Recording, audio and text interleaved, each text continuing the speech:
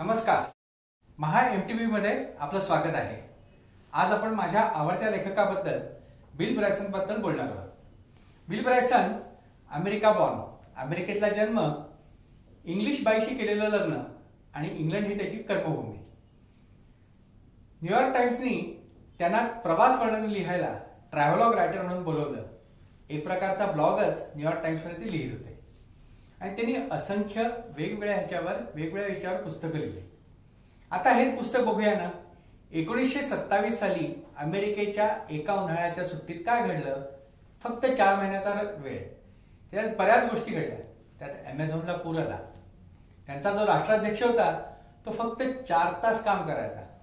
आपण आपल्या पंतप्रधानांबद्दल ऐकतोय की ते चार तासच झोपायचे. पण तो राष्ट्राध्यक्ष चारच तास काम करायचा. आणखीन स्टॉक मार्केट बूममध्ये होतं. लिडबर्गनं विमान उडवलेलं होतं.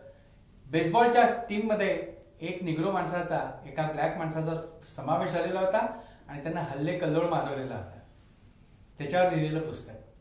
त्याने एवढंच लिहिलेलं नाही आहे त्यानं निरनिराळ्या देशांवर लिहिलंय. ऑस्ट्रेलियन गव्हर्नमेंटनी त्याला ऑस्ट्रेलियावर लिहायला बोलवून घेतलेलं होतं. आणि ऑस्ट्रेलियाचा संबंध प्रवास वर्णन तिकडचं वाळवंट तिकडची संपूर्ण सृष्टी. आपल्याला फक्त ऑस्ट्रेलिया माहिती आहे ती काय? कांगारू. पण ऑस्ट्रेलियाचा एक पंतप्रधान फिरायला म्हणून सकाळी बाहेर पडला आणि समुद्रात वाहून गेला. बोटभर चिंधी सुद्धा सापडली नाही त्याची. त्याच्याबद्दलही त्यानं लिहिलेलं आहे. खूप छान लिहिलेलं असतं त्यानं. त्याचे विविध विषय म्हणजे कुठले? त्यानं शास्त्रावर सायन्सवर पण लिहिलंय. Brief history of nearly everything म्हणून. छोटे छोटे पडलेले आपल्याला प्रश्न. पृथ्वीचं तापमान इतकं जास्ती आहे तर आपल्याला चटके का बसत नाही?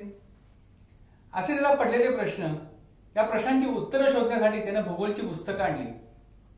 सगळी वाचली. आणि लक्षात आलं याच्यातून माहिती काहीच मिळत नाही. आपल्याला फक्त कन्फ्यूज व्हायला होतं.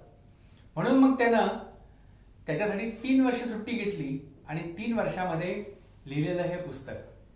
पुस्तक वाचताना हास्याचे फवारे उडतात. हे चार चौघात वाचण्यासारखं पुस्तक नाही असं टाइम्सनं लिहिलंय. कारण ह्याच्यामध्ये तुम्ही हसायला लागलात की आजूबाजूची लोक तुमच्याकडे बघतात. अरे हा असा काय हसतो म्हणून?